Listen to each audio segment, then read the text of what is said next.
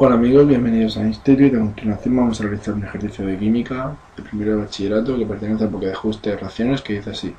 Sustituir los triángulos e igual a las siguientes ecuaciones. Vamos a empezar por el apartado A. En el apartado A tenemos que al azufre le añadimos algo para obtener el trióxido de azufre, por lo que, lo que añadiremos será una molécula de oxígeno, ¿no? Y se obtiene el trióxido de azufre. Para ajustar esta ración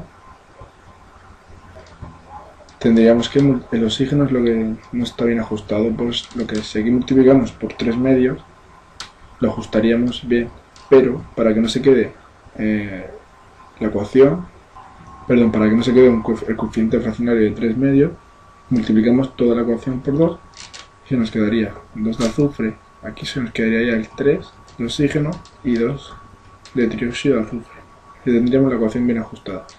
Pasamos al apartado B. En el apartado B tenemos que algo reacciona con el azul, con el hierro, perdón, para dar el, sulfuro de hierro. Por lo que lo que reaccione con el hierro tiene que ser el azufre. Lo que tenemos que aquí para ajustar la ecuación sería, aquí tenemos a la derecha dos átomos de hierro multiplicamos aquí por 2 y aquí tenemos 3 átomos de azufre. Pues multiplicamos aquí por 3. Pasamos al apartado C. En el apartado C ocurre la... Tenemos el metano, que y si vemos a la derecha lo que se obtiene es el dióxido de carbono y agua. Por lo que lo que está ocurriendo es la reacción de combustión del, del metano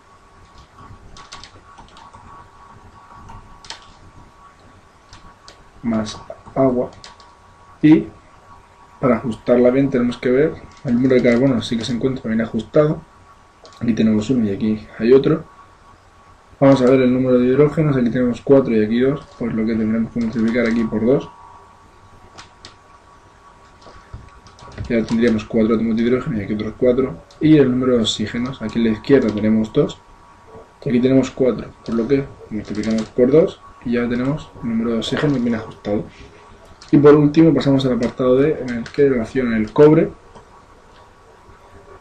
con algo para dar el cloruro de cobre,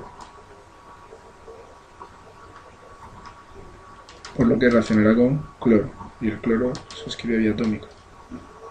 Por lo que este ha sido el ejercicio, os ha gustado visitar el Instituto, un saludo.